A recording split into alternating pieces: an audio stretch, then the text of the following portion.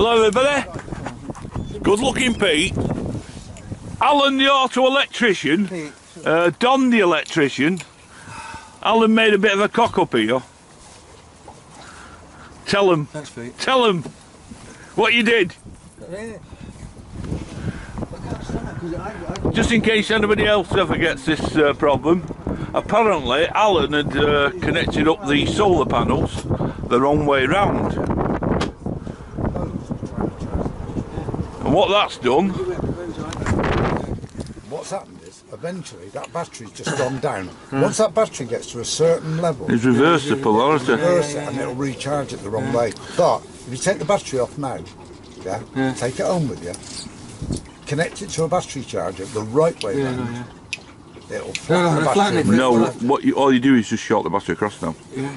Get sort them- it get. Get a piece of wire now and short the battery across and it'll, it'll go back to where it should be. The battery won't know which way it is. It's because um, they were connected up wrong, that the battery's gone flat and they were still connected, It's an then the battery's mistake to gone. make. Somewhere along the line, you've connected. Was that many wires? I put one and done this. You mean he cocked up? Is that what you mean? Uh, I'm not saying anything, especially not on camera. Everybody, everybody makes mistakes. I don't. It's so simple. I Yeah. never make mistakes. Oh, Shut up. Shut up. Right, what are we doing now? Right. Let's think about what you're going to do now. Right. Now this battery, positive is negative and negative is positive. That's getting complicated already. So you've no way of charging it back up. If you put the charger on, it will blow.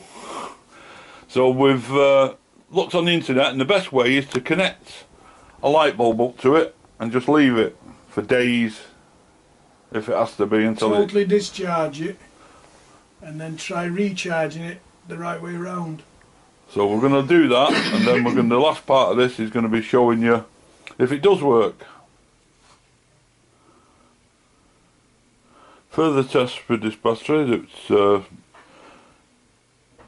reversed itself. Positive is negative, negative is positive. Uh,